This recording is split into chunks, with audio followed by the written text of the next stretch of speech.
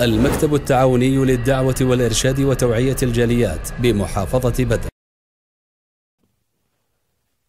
বিসমিল্লা আলহামদুলিল্লাহ সালাত ওসালাম আল্লাহ রসুলিল্লাহ ওবাদ সুপ্রিয় দর্শক শ্রোতামণ্ডলী আমরা মুসলিমদের মাঝে কিছু দুর্বল শ্রেণীর মুসলিম যারা আছি তারা নিজকে এবং সন্তানদেরকে বাসা বাড়ি বন্ধ করার জন্য নিরাপদ করার জন্য বিভিন্ন কবিরাজ বা জাদুকরের কাছে গিয়ে থাকি এবং তারা কিছু তেলেসমাতি দেখিয়ে বলে যে, শয়তান থেকে বা সমস্ত অনিষ্ট থেকে আপনার বাড়িঘর বা আপনাকে নিরাপদ করে দিলাম বা বন্ধ করে দিলাম।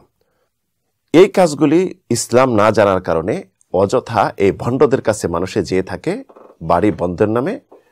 তার কাছ থেকে অবৈধভাবে কিছু অর্থ সে উপার্জন করে নেয়। এই সমস্ত অনিষ্ট থেকে বাঁচার জন্য একজন মুসলিমকে তার নিজকে, সন্তানদেরকে, পরিবার, পরিজনকে এবং নিজের বাসাকে অনিষ্ট থেকে, শয়তান থেকে, বিভিন্ন বালা মুসিবত থেকে রক্ষা করার জন্য সুরা বাকারার দুটি আয়াত যথেষ্ট। রাসুল সাল্লাম এরশাদ করেছেন যে হাদিসটি ইমাম বুখারি মা মুসলিম, আবু হুরায়রা রাদি আল্লাহ আনহু থেকে বর্ণনা করেছেন, মান কারা আবিল আয়াতাইনে মিন আখিরে সূরাতিল বাকারাতে ফি লাইলাতিন কাফাতাহু। যে ব্যক্তি সোরা বাকারার শেষ দুটি আয়াত কোন রাত্রিতে পড়বে তার জন্য এই দুইটি আয়াতই যথেষ্ট হবে। এখানে যথেষ্ট হবে বলতে, ওই রাত্রিতে তার কাছে শয়তান আসতে পারবে না এবং ওই রাত্রিতে যত অনিষ্ট আছে, অনিষ্ট থেকে, বিপদ থেকে, বালা মুসিবত থেকে সে মুক্ত থাকতে পারবে। সোরা বাকারা শেষ দুটি আয়াত, আমানা রসুল বিমা উনজিলা ইলহিমি রব্বিহল মিনুন থেকে শেষ পর্যন্ত।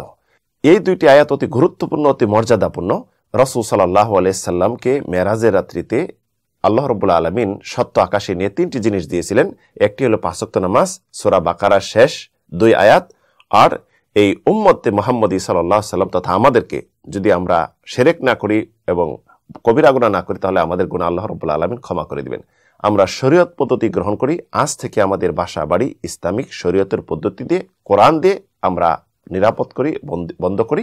আল্লাহ রবুল্লা আলমিন কোরআন জানার, কোরআনের প্রতি আমল করার তৌফিক দান করুন।